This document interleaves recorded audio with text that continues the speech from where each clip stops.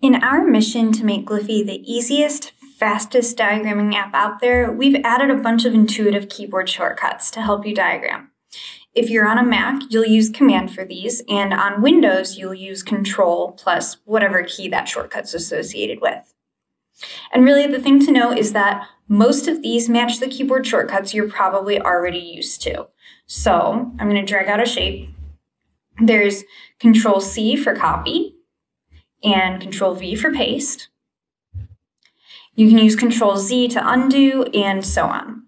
You can find a guide to all of these shortcuts by clicking the Help button, then clicking Shape Shortcuts and Document Shortcuts to pull up a list of the shortcuts available. We also have this specific set of shortcuts for when you're using a mind map, but those are covered in the how to make a mind map video. In addition to the standard shortcuts you probably already use in other apps like copy paste, you can use Control D to quickly duplicate a shape. To group shapes, you can select them all and hit Command G instead of hitting the group button up here. And then that allows you to treat them as a group. You can change their style as a group, etc. And then to ungroup them, you use Command or Control U.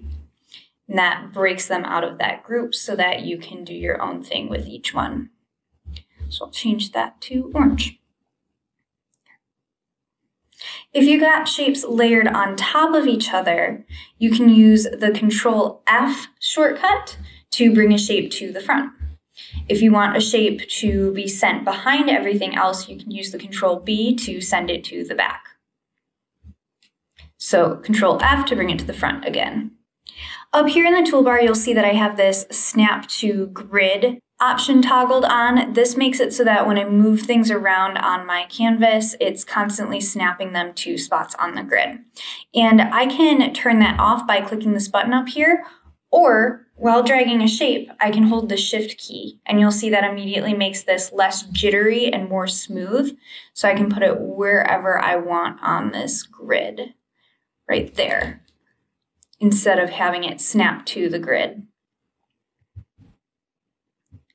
That same rule, holding shift, allows you to rotate the shape at a very specific angle. So right here you see it's locking in at 15 degree angles, but if I hold shift while I do this, I can turn it to a very specific angle like 32 degrees instead of keeping it locked in at 30. Now last, there are some shortcuts built into the tools up here on the toolbar that you should check out. You can always see what they are by hovering over it. So to add text, I can do Command or Control 2, and that jumps me to my text tool. Then when I want to jump back to the pointer so I can move this text around, I can hit Escape, and it takes me back to this pointer tool up here, so I can move this around. The other ones are Command 3 to jump to the connector tool and draw lines between your shapes.